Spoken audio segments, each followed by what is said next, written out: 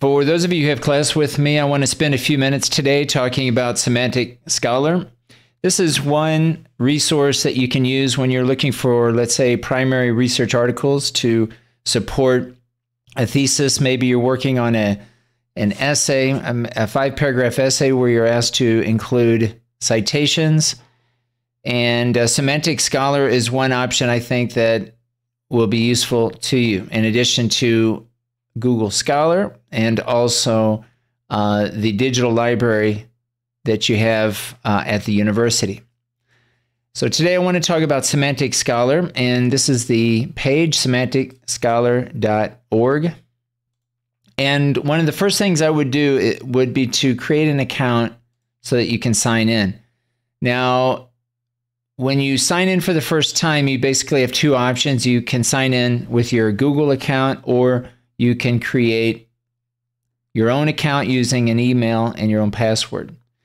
Uh, although it shows sign in with your institution, at this point, at the time of this recording, uh, this is not an option for us. So again, either Google your Google account or you can create your own account. Now I've already done this, so I'm going to go ahead and sign in. And once you've signed in, You'll now have access to the research dashboard, research feeds, and library. Today I'm just going to talk about searching articles and using the library. Again, once you've signed in to the account, you'll have this option to view your library. So let's say you want to search for a particular topic and you can still use the Boolean search using the operators and uh, not uh, you can use those to help filter your search. For this purpose, though, I'm going to, for this example, I'm going to use the term native speakerism in applied linguistics. Okay, now once you have started your initial search, you'll see here along the top some options. And this provides a way to filter through depending on what you want to find. And I think what I would typically do would be to select has PDF because we want to filter and have only those results that have a, a PDF document that you have access to the entire article. And I'm going to select last five years because generally speaking, it's best to try to limit your references to the last five years, especially when you're thinking or including primary research articles to support your main ideas. So now I have my filter and there's a couple of ways you can do this. You can go into each individual one and take a look at the PDF. Now, sometimes the PDF file is available through or within the Semantic Scholar page. Sometimes you have to go to the publisher to find that information. All right, so going through here, I'm going to probably access these PDFs, read through this information, read through the studies, and see if whether or not this information is useful. Now, you'll notice in this example, the first source that I selected was a book. So it's always make it's always important to make sure and maybe ask your instructor if there's a preference between using primary research articles versus using a book. But in this case, you'll see that that you have access to both books and articles. Uh, if you search Google Scholar, typically you're going to find uh, articles, um, but you know, in this case, we have we have both.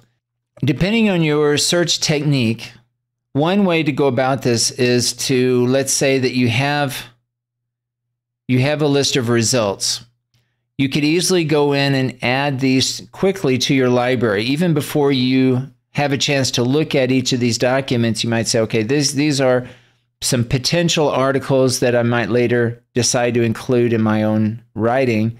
So, what you could do is just from this initial results screen, is to save this in your library. So, again, making sure that you've already signed in. You'll have an option here to save, and you'll notice along the right hand side of your screen, you have an option to save it to your library. Now, let's say that you just want to quickly save. You can easily go through here and scroll down and save to your to your library.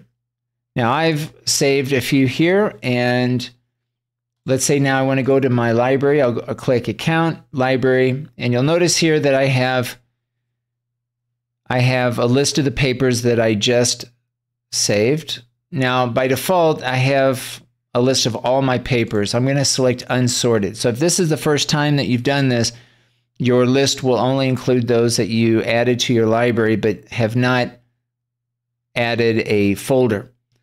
So what you can do is you can add folders. So depending on your project, depending on maybe even the class, you can use this approach and organize your uh, and your organize your results into different folders. So let's say that I want to create a folder called pending. And because again, I haven't yet had a chance to look at these studies. So what I could do is I could I could select each one of these and move it into my pending folder. And so again, I'm just clicking organize, clicking on the folder that I want to put this in, and you can see that it's being moved to the to the folder.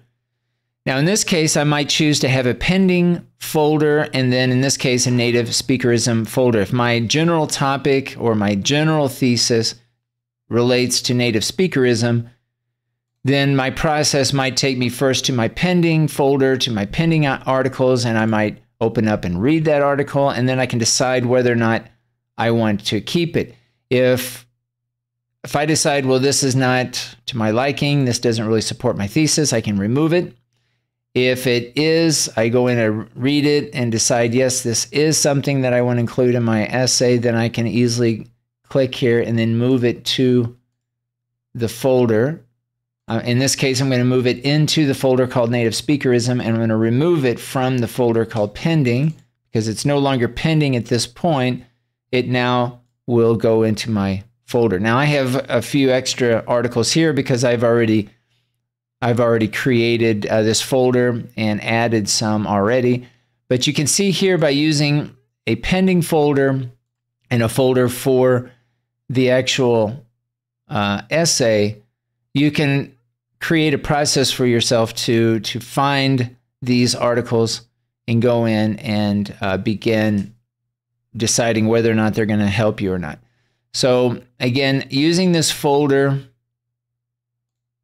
this folder system. Okay, this will help you, I think, find uh, find your articles that you're looking for. Now, I'm not going to go into anything. There's some other options here. Get research feed. Um, I'll create a separate video on research feeds, but for now, this will be a good place to stop.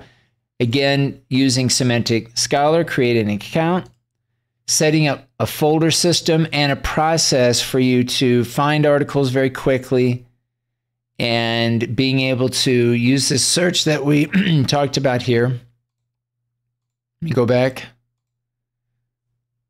Using this filtering system up here, of course, you can go and filter even further if you wish, but I think at least clicking date range and, and PDF or has a P PDF this will give you uh, a good way to access a lot of information very quickly in search of articles for your academic text.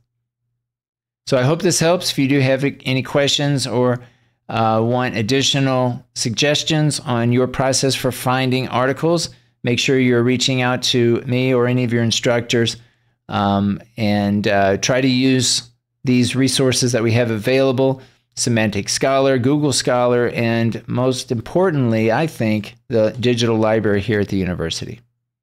So good luck in your search.